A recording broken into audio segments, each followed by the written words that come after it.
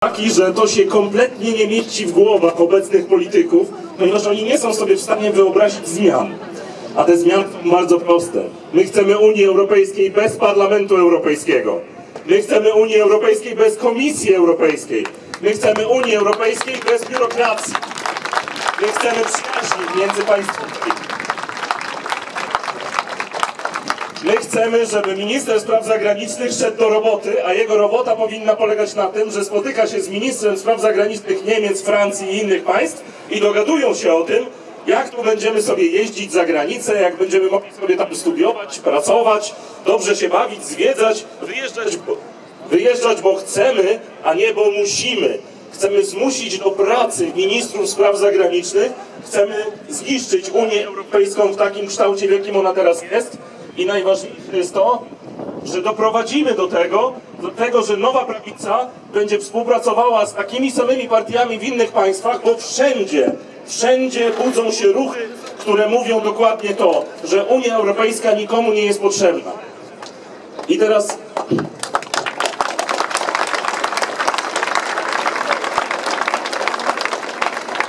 jak widzieliście, Wyjmij baterię! Coś jest nie tak. O, no, żeby bo nie od razu było widać taki. E, Słuchajcie, jak widzicie w jaki sposób politycy bronią tej Unii Europejskiej, powinno wam tylko jedna rzecz dochodzić do, roz, do zrozumienia. Wszystkim, bo wy rozumiecie, skoro tu jesteście. Wszyscy powinni rozumieć, że jedyni ludzie, którym zależy na istnieniu Unii Europejskiej w takim kształcie, w jakim ona jest, to są właśnie politycy. A my politykami nie jesteśmy. Co jest u nas na? My politykami nie jesteśmy, my jesteśmy przedsiębiorcami, my prowadzimy własne działalności, my płacimy podatki, my pracujemy na etatach. My wiemy dokładnie o tym wszystko, czego wy chcecie i czego potrzebuje ten kraj, żeby było lepiej. I wiemy dobrze, że w Unii Europejskiej nic się nie da zmienić. Tam można tylko mniej popsuć.